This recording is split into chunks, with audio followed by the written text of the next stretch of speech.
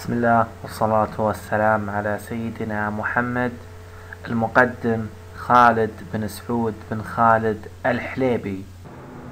إن شاء الله راح نتكلم في هذا الدرس عن أروع صورة لعام 2013 مثل ما تلاحظون الصورة صورة آه، عرضها موقع الفضاء آه، واعتبرت من أروع الصور لعام 2013 حيث التقطت من شمال كندا.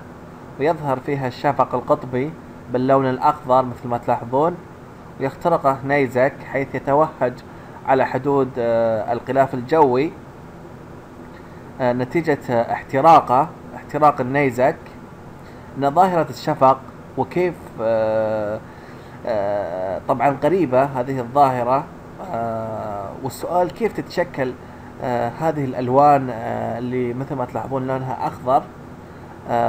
لا زالت آه، تحير العلماء حيث يعتبرون آه، هذه الظاهرة من أروع الظواهر وأقربها.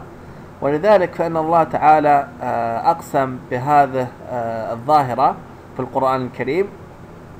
يقول تبارك وتعالى في القرآن الكريم فلا أقسم بالشفق والليل وما وسق. سورة الانشقاق من آية 15 إلى 16 صراحة ما نقول له سبحان الله.